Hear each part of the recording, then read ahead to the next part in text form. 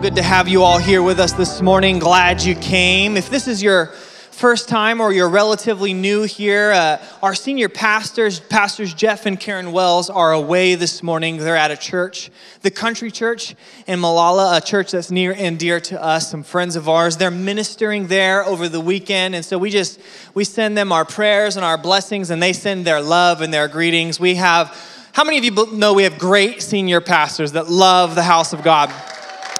And as honored as they are to have the privilege to minister elsewhere, they truly love this house. And so I always make it a point to remind you that they're, they're happy to get an opportunity, but they're sad to miss any Sunday at this house because they love this community. But while they are away, uh, I, am speaking this morning. My name is Thomas. If you're new here, fairly new here, uh, my wife and I are the youth, young adults, and kind of some assistant pastors here at RockPoint Church. We're so excited that you're here, and I'm so excited to get to the opportunity to speak to you. If you've been around a while, you may have noticed it's been a while. I haven't spoke since pre the birth of my beautiful son, which is sitting on the front row right now. It has been about, not Justin, don't tempt me with the jokes. Okay, it has been a few months, um, and I just wanted to take this opportunity briefly to say thank you to this house. Um, in those about 11 weeks, he'll be, oh, he'll be 11 weeks old tomorrow. In those weeks, there was some rough patches. We had a couple of hospital stays, some severe sickness with the little man. It was tough. But this house was such a blessing to us in community, in prayer, in text, in food. So we want to just say from the bottom of our hearts, thank you so much to the house. We love you guys, and we're so excited to be here. We're so excited to have little man on the front row. So, something about Melissa and I is we are not very car savvy, okay? Now, I've shared a little bit about my uh, deficiencies in the automotive department before, but I would love to take this opportunity to also throw my wife under the bus. Amen? It's a great opportunity anytime I preach. So, when we got married, we had this uh, tiny, super orange 2004, I think, Chevy Aveo. Now, uh, it was much nicer looking than the 99 Neon that I drove. But um, how many of you know when it comes to cars, what it looks like isn't, important, isn't as important as what it does, right? That it would, if it runs, if it's reliable, if it's easy to fix, those are all important things. Now, we had kind of a perfect storm in our marriage where we had this Chevy Aveo, which just so happens to be um, kind of a problem car, hard to get parts for. Also, we had problem drivers. Uh, that would be me and my wife. We don't take very, we didn't take very good care of our vehicles. Now, we had this season of our life where my wife would drive uh, about a half hour away to take some college courses. And she would go, and she's a music lover like most of us are, especially when we're a little younger. Uh, I love music too. But how many of you guys know there's something just therapeutic when you're alone driving on the freeway? Cranking some music, right? Something therapeutic. So one day on the drive home in this tiny Chevy Aveo, my wife is doing what I can only imagine looks like something out of a scene of a movie. She is just belting it out. The music is so loud, she has no idea what's going on around her. Until finally she hears some faint honks, okay? Some beep, beep, beep, beep, beep, beep, beep, beep. She looks in the rearview mirror and discovers that someone is not only driving very closely, but trying to get her attention. Well, she didn't realize. At first, she assumes, hey, this person's a jerk. What are they doing, right? Honking, laying on the horn. Finally, the guy gets over into the other lane. He gets her attention, and she's doing one of these, like, what? What? And he's like, his, he has fear in his eyes. He's afraid, not for his life, but for hers, okay? Finally, he gets her attention. She rolls down the window and he says, Your car is on fire. there is uh, unbeknownst to my beautiful wife, there is smoke billowing out of the engine, okay? I don't know how she didn't see it or smell it, okay? Worst of all, the music is so loud that she can't hear the dash as the dash is yelling at her because the car is overheating, okay? And it's just going beep, beep, beep, beep, beep, beep. So Every sign, she had every sign afforded to her that something terrible was about to happen. And yes, the car overheated. I think that time our water pump, blew, or some, our head gasket blew. It was terrible, okay? Super expensive fix, not even worth what the car was worth.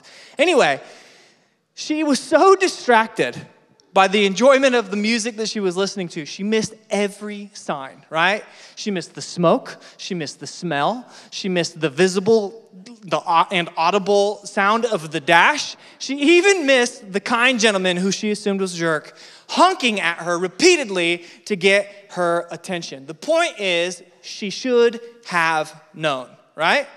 This morning I want to talk to you from the simple title the writing on the wall. Now, this is a phrase that we use commonly to indicate something that is going to happen pretty clearly, or something that in retrospect seems pretty clear that did happen. Are you with me? Essentially, it's something that you should have seen coming. Let's read in Daniel chapter 5, verses 1 through 6. And we're going to dive into a decent portion of scripture this morning. How many of you know it's okay to read the Bible in church? Amen? Amen. It says in Daniel chapter 5, verses 1 through 6, and this is in the ESV, it says, King Belshazzar made a great feast for a thousand of his lords and drank wine in front of the thousand. Belshazzar, when he tasted the wine, commanded that the vessels of gold and silver, silver that Nebuchadnezzar, his father, had taken out of the temple in Jerusalem be brought, that the king and his lords, his wives, and his concubines might drink from them. Then they brought in the golden vessels that had been taken out of the temple, the house of God in Jerusalem, and the king and his lords, his wives, and his concubines drank from them. They drank wine and praised the gods of gold, silver, bronze, iron, wood, and stone. Immediately, the fingers of a human hand appeared and wrote on the plaster of the wall of the king's palace opposite the lampstand. And the king saw the hand as it wrote. The king's color changed, and his thoughts alarmed him. His limbs gave way, and his knees knocked together. Would you join me in prayer this morning? Father, thank you so much for these moments we share together. Thank you, Lord, for the honor and the privilege to gather together in your house. Lord, we are so thankful to be together in community, so thankful to have easy access to your word. Lord, we thank you for your word. We thank you that it's alive and it's powerful. Lord, I pray that this morning you would open the hearts, the minds, the ears of the people to hear what you have to say to us today. God, let your word be like a seed planted in our heart to produce good fruit. Use me, God. Let it not be my word spoken, but yours. In Jesus' name, everybody said, Amen. So, over the period of the last few weeks, Pastor Jeff has launched us into a new series covering the book of Daniel. And it's been really cool because if you're part of the community, you've also been going through a journal, a journal that has the same title as our series, which is The Great Exploits. And we're going through the book of Daniel. And over the last few weeks, Pastor Jeff's covered Daniel chapter 1, chapters 9, and 10. But to really understand, and I'm going to be covering Daniel chapter 5 this morning, but to really understand it, we need to make sure we have a good foundation and background on what we're talking about.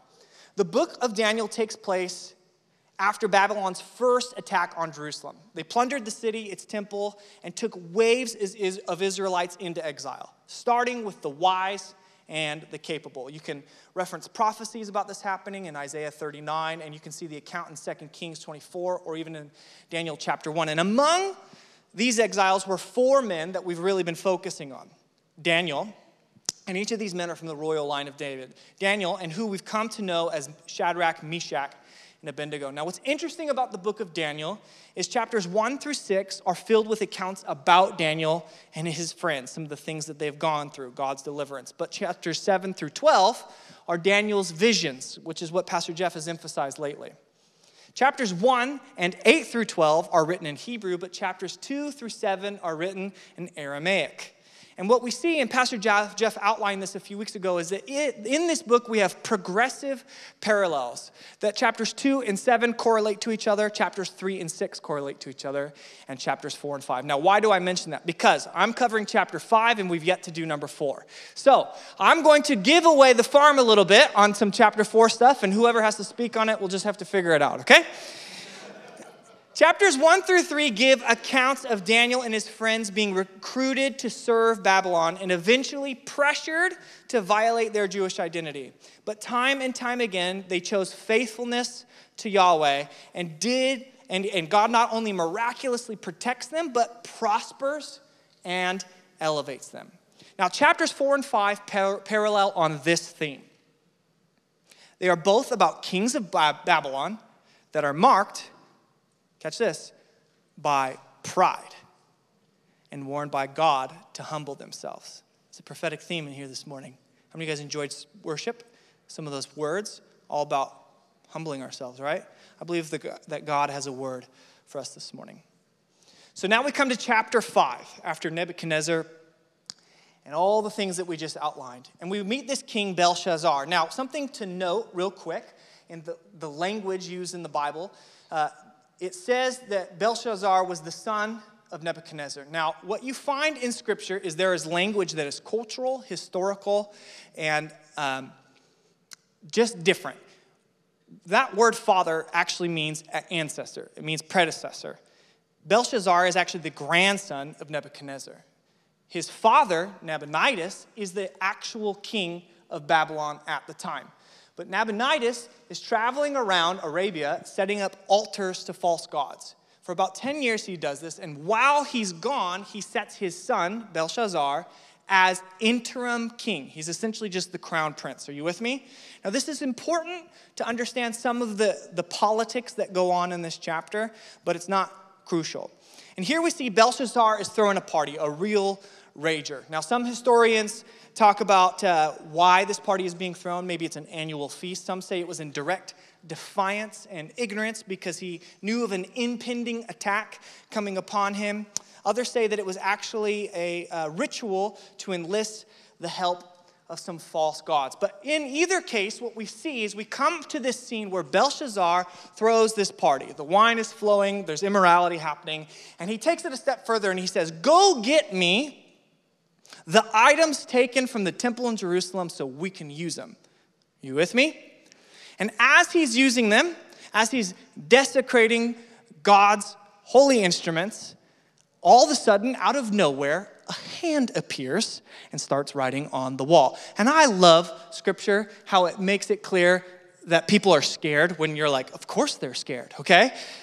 It says that he lost his color, that his, his, his thoughts troubled him. But here's my favorite it says his knees knocked together, right? That's like my favorite dance. Melissa hates it. His knees knocked together. Now, there are historians who have done studies on this idea, and we most have found that that is the first time the idea of knees knocking together is found in antiquity. Pretty interesting, right? That God scared this king so bad that his knees knocked together. And we read on verses 7 through 9, it says, Then the king called loudly to bring in the enchanters, the Chaldeans, the astrologers.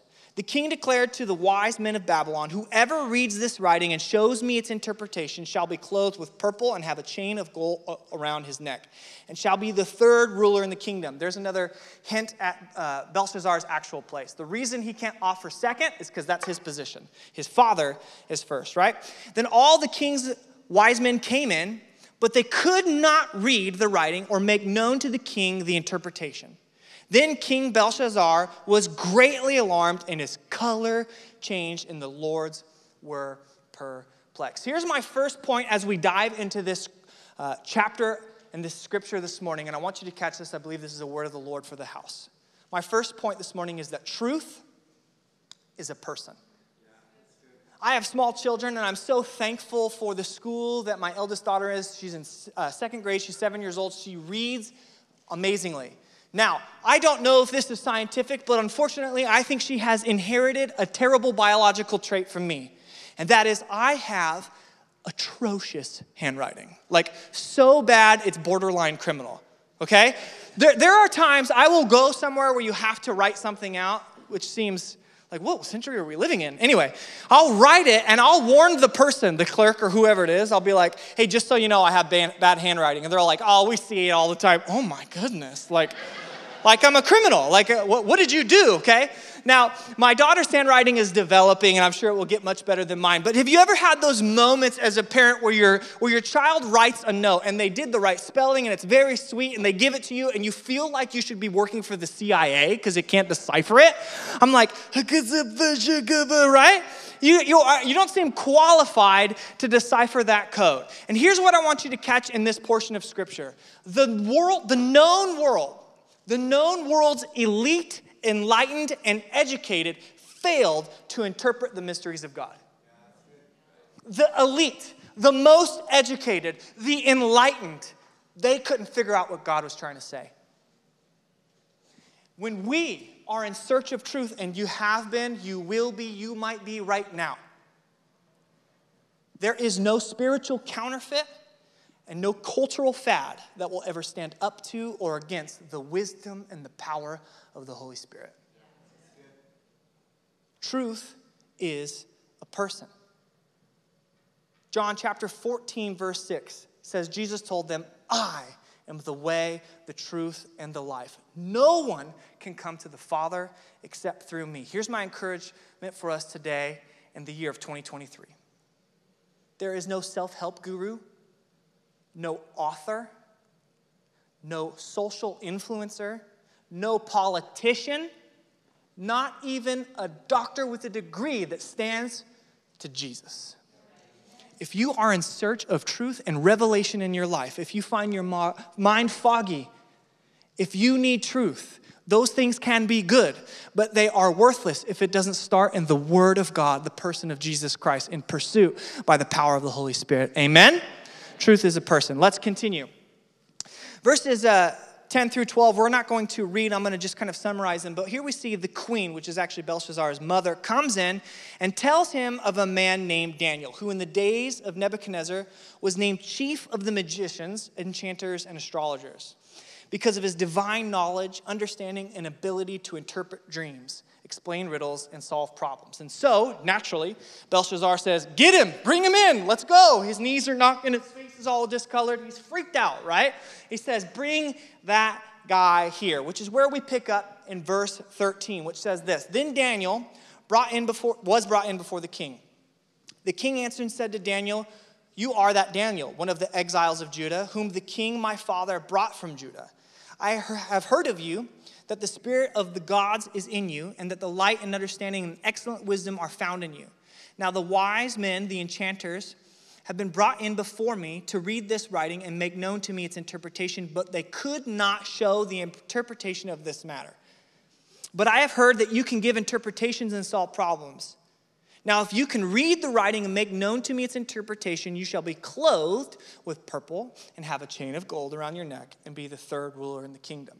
Now, you should know that when you study this chapter, although we're not going to dive into this, there is a lot of interesting language and uh, cultural and political um, jousting happening even in the scripture we just read and the one that I referenced before that. There's some family stuff going on, there's some kind of sar- sarcasm, honestly. How many did you know that the Bible can be sarcastic sometimes, which just makes me feel better about it?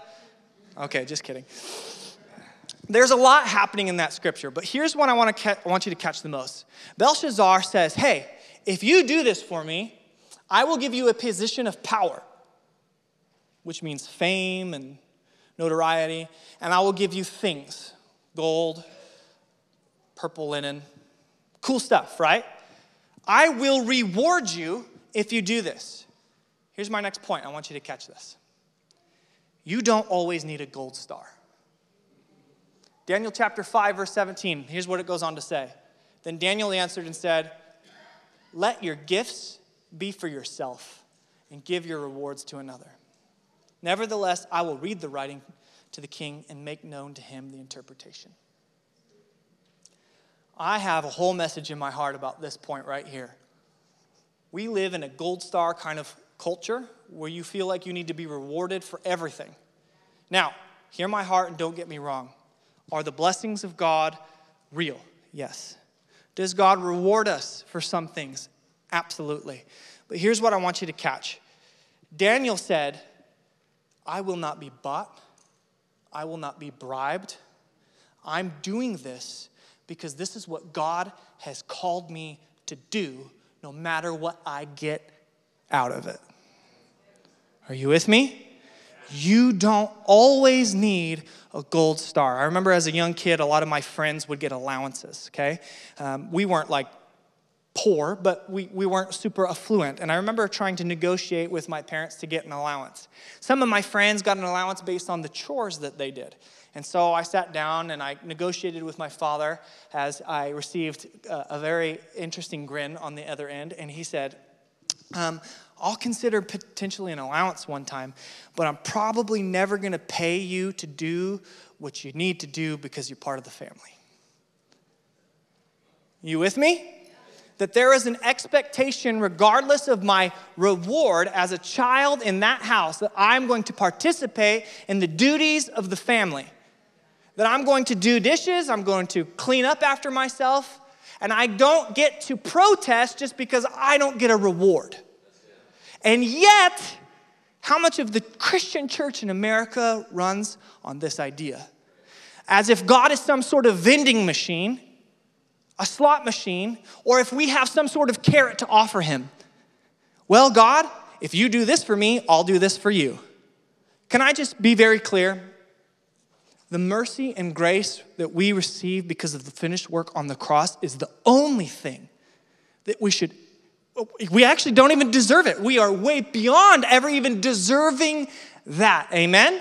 Now, do I believe in prosperity on this earth? Absolutely. I'm not coming against that. What I'm doing is saying you don't always need a gold star. There are things in life God has called you to do just because He's called you to do it. Amen? Amen. Let's move on. Verse 18 says, O King, the Most High God, gave Nebuchadnezzar your father kingship and greatness and glory and majesty. And because of the greatness that he gave him, all peoples, nations, and languages trembled and feared before him. Whom he would, he killed. Whom he would, he kept alive. Whom he would, he raised up. And whom he would, he humbled. But when his heart was lifted up and his spirit was hardened, so that he dealt proudly he was brought down from his kingly throne, and his glory was taken away from him. He was driven from among the children of mankind, and his mind was made like that of a beast. And his dwelling was with the wild donkeys. He was fed with grass like oxen, and his body was wet with the dew of heaven until he knew that the Most High God rules the kingdom of mankind and sets over it whom he will. And you, his son Belshazzar, have not humbled your heart, though you knew all of this but you have lifted up yourself against the Lord of heaven. So before Daniel directs his attention to the actual writing on the wall, he begins to prophesy and speak to Belshazzar. And he reminds him of his grandfather, his ancestor, his predecessors' sins and failures, which we can't get too far into because we don't know who's going to cover chapter four. But here is essentially the point Nebuchadnezzar has been confronted with the power, the reality of Yahweh the one true God, okay? And even then, he still chose not to humble himself, but to rise up in pride.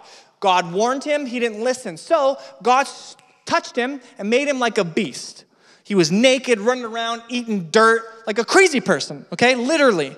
Until, again, with another opportunity, Nebuchadnezzar humbled himself and he was restored. So Daniel's reminding of him of this when we come to chapter 23. And here's what I want you to see in the NLT For you have proudly defied the Lord of heaven. Here is what Daniel's chapter 4 and 5 are primarily about pride. The pride of the kings of Babylon who wanted to make themselves like God. Belshazzar's pride is what marks his name in history. And here's what it leads to. Verse 23 goes on. It leads to blatant irreverence. It says, And the vessels of his house have been bought, or sorry, brought in before you, and you and your lords, your wives, your concubines have drunk wine from them. Here, the king of Babylon, Belshazzar, blatantly is irreverent towards God. He knows better but he fails to honor God and desecrates what he has called to be set apart for holy use. You can find that all throughout the test, Old Testament. Exodus chapter 40, verse 9, Numbers 18, 3 are some references on how God has called these instruments at that time to be set apart for holy use. Here's my point that we can learn, one of the points that we can learn from the mistakes of Belshazzar. Don't taint what God has called holy. Well, what's that? Is it my fine china? No, it's not your fine china. It's you. Genesis chapter 1 and 2. God made man in his what? Own image. Psalms chapter 8. 1 Corinthians 6 19 says that our bodies are a temple of the Holy Spirit. Proverbs 4 23 says to guard our hearts. And 1 Peter 2 says that we are a chosen generation. So, what is supposed to be set apart? When you give your life to Christ, you are. So, don't defile yourself with the things of this world. Are you with me? What does that mean? Well, simple things that we all need reminding of, like maybe what you take into your soul. What kind of movies are you watching? Are you tainting what God has called to be set apart? What kind of music are you listening to? Here's one What kind of news are you taking in? We could get real practical and talk about how our bodies are the temple of the Holy Spirit. Are you treating it that way? Are you with me? We're not going to go there. Don't taint what God has called holy. His pride led to, led to blatant irrelevance, which led to idolatry. Verse 23 goes on and continues to say, And you have praised the gods of silver and gold and bronze and iron, wood, and stone, which do not see or hear or know. But the God in whose hand is your breath and whose, and whose are all your ways, you have not honored. And here we see something pretty cool. Daniel gets a divine revelation. He calls them out for worshiping these false gods, but go back in time a little bit to the beginning of the scripture. Daniel wasn't there, he just got called in. So God gives him a divine revelation exposing false gods and idolatry and identifying the one true God in his infinite personal nature, that he is a God who knows us, that he's watching us, that he's interactive, which what implies that he can also be known. We can go there for a long time. That's a powerful scripture. But Belshazzar's pride led to blatant irrelevance, which, or sorry, irreverence, which led to idolatry. And it sets it up perfect when Daniel says that God knows you, He holds your breath, because then he turns his attention to the writing on the wall. Daniel chapter 5, verses 24 through 28 says this Then from his presence the hand was sent, and the writing was inscribed. And this is the writing that was inscribed Meeny, meeny, miny, mo. Just kidding. mene, mene, tekel, and parsin. Uh, some translations have upharsin. This is the interpretation of the matter. Mene, God has numbered the days of your kingdom and brought it to an end. Tekel, you have been weighed in the balances and found wanting. And Peres, your kingdom is divided and given to the Medes and Persians. Now, I know this is probably one of the more interesting portions of the scripture, but it's actually simple in application. In interpretation, it can be complicated linguistics, right? Uh, Daniel chapter 5 is written in Aramaic, but God is writing to them in Hebrew, which is written right to left and at the time had no vowels. Uh, this is part of the reason that some translations leave out the you, but the you just simply means and. And as a reminder, if you didn't know, whenever a word is repeated in Scripture, that's for emphasis, okay? essentially, what it says is numbered, weighed, and divided. The other thing about Hebrew that's similar to English in some ways is that there are definitions of a word and there are implications of a word. But what, what the writing meant was numbered, weighed, and divided. Here it is in very, very plain English God has evaluated you, and your number's up. Ouch. God has evaluated you, your heart, and your actions. And your number is up. We're going to go a little deeper into that. But before I do, I want to go backwards. Back to Daniel chapter 5, 22, because I think it's important that you see this. Here's this point He should have known better. 522 says, And you, his son Belshazzar, have not humbled your heart, though you knew all of this. Belshazzar cannot, he cannot plead ignorance. Now, I, I, if you're a parent in this room, or well, most of us were at least once, a, yeah, we were all once a child, right? We've all heard this phrase or used it, but you know better, right? There is a certain degree more mercy and grace when I am um, disciplining or correcting my child on something they were ignorant in. But there is a lot less when it's something they knew better. Why? Why? Because that's rebellion. That's defiance. Are you with me? And Belshazzar knew better. In Proverbs, it talks about not moving the ancient boundaries. And I don't know who this is for this morning, this little blurb of a point, but I want you to, to know God is evaluating you in a positive, good way. He, he loves your heart and He wants to help you, okay? But there are some things you know better. Are you with me? It's no mystery what you're doing, how you're acting. Let's move on. Here's an intense point surrender or die. I have a picture I want to show real quick before we look at the scripture. If we could show this picture. This is uh, me at Pastor Josh's bachelor party about a year and a half ago. We played paintball. How many of you enjoy paintball? Anybody? Oh, more people than I thought. I've only played paintball a handful of times, and I have a ton of fun. Now, what you have to understand is I grew up in the video game generation, including first person shooters, okay? So automatically, I think I'm a rock star with a paintball. It's just like that's how my brain goes. It's pride, it really is. Um, there's this rule in paintball that if you sneak up behind somebody, it's not kosher, it's not polite to just shoot them in the back. I mean, there's a rule in combat like that too, but we're talking about paintball, okay? It's not polite, especially in like the back of the head or something. So, what you're supposed to do is there's this phrase that we use. If you come up behind somebody, you say, surrender or die. Now, I'm very stubborn and I am very prideful. The reason this picture is significant is if you can't tell, I got shot in the face, right in the mouth, right there, okay? The reason I got shot in the mouth is because I overestimate my own paintball abilities and I never want to surrender. And I always think that I could be the equivalent of Jason Bourne or John Wick or 007 on the paintball field and turn around. Turns out all I do is get more welts, okay? I always die. I always die because I'm prideful. Daniel chapter 5, 29 through 30 goes on to say this. Then Belshazzar gave the command, and Daniel was clothed with purple, a chain of gold, and was put around his neck. And the proclamation was made about him that he should be the third ruler of the kingdom. Let's stop right there.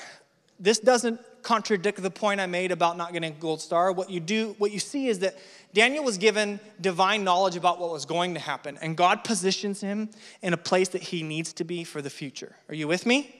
He still made the right stance, which is to say, I wouldn't be bought or bribed. But now let's move on to verse 30, which says, That very night, Belshazzar, the, child, well, the Chaldean king, was killed. Belshazzar was killed. Here's the difference between chapters 4 with Nebuchadnezzar and chapter 5. Both puffed themselves up in pride, opposed God. Nebuchadnezzar was stricken with madness as a warning. He repented and was restored. Belshazzar says, Thanks for the translation.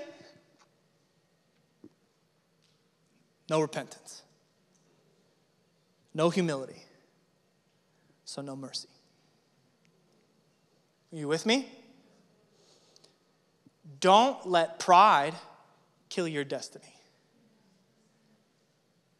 We serve a just and powerful and almighty God. Now, I want to be careful and clear what we don't, I'm not asking you to develop some kind of like picture of God that He's chasing around, chasing you around with a gun on the back of your head. That is not who God is. Okay? But He will not be mocked. Are you with me? There comes a point in our pride and our persistence and our irreverence and our idolatry in this life in this world where God is saying, surrender or die or give something up. Maybe He won't take your life, but it could be the death of your destiny if you hold on to your pride. Are you with me? At this time, I'm going to call up the worship team as we kind of land on this more upbeat point. Again, I want to take you back in the scripture to show you something that I believe is significant. I don't want to leave you thinking like, well, God's just chasing me around. If you go back to Daniel 5, verse 5, I want you to catch this word. Immediately, the fingers of a human hand appeared. The New King James Version says, that hour. We serve a God who not only allows us to study the past so that we can correct our current trajectory, but he will show up in the middle of our debauchery to warn us. He is not distant, he is not cold. He is not simply pointing the finger. In this moment, what we see is a God breaking through the supernatural into the natural to perform miraculously to get somebody's attention and say, Stop this madness. That's how good our God is. He isn't simply sneaking around with a gun to the back of your head. He's saying, Stop. I don't know how I could write any clearer. Stop doing this. Are you with me? John 10 10. Jesus says that the, the thief comes to steal, kill, and destroy, but I have come to give you life and more abundantly, right? Proverbs chapter, or sorry, Psalms chapter 23 talks about how the goodness of God is chasing us down. God will take every step, every measure to get your attention. The question is do you have the music up too loud? Can you understand what God is saying? Are you even paying attention? Or is your faith, is your trust, is your confidence in the elite and enlightened of this world? Are you too focused on what the doctors and the, and the influencers say about this matter? Reading the next fad book about it? Or are you listening to the voice of God who's trying to get your attention and interrupt your pride to save your life? Amen? Let me go ahead and have the band start playing as we stand to our feet this morning. Pride is an ugly thing. And in Daniel chapter 5, we see that the life of Belshazzar was marked by pride. He didn't get the hints, he didn't see the signs, and he paid dearly. This morning, the Lord has spoken already prophetically about being a house who embraces humility. You know what pride is? It's arrogance and self righteousness. Humility is, is the opposite.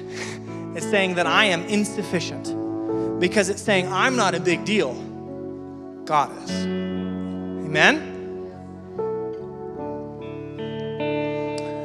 I think it's in uh, Chronicles where he says, If my people would humble themselves and pray, I would listen to them, forgive them, and heal their land. What God calls us to do in response to our pride is humble ourselves. How do we humble ourselves? We pray and we turn away from our sin. What's turning away from our sins? That's literally the definition of repentance. sin means to miss the mark, okay? Repentance means to do a 180, which means you're back on track. So God calls us, if we're living in pride, to talk to Him, to repent, turn around. And in response, He'll not only listen when we're speaking to Him, He'll forgive us, and He'll go one step further and He'll heal us. Amen? So, this morning, in response, as the team is going to play in a moment, I want to just take this opportunity, as God's already spoken so clearly through the prophetic, to open our hearts and ask God to take a look and say, God, is there any place in me that I have allowed pride to lead to irreverence, that I have taken what is holy and tainted it? Is there any place in me that has be- become idolatrous, begin to worship the gods of this world? Is there any place in me that is looking for truth when my truth should be found in you, Lord Jesus? Is there any place in me that is only looking for reward rather than being a son and a daughter on mission?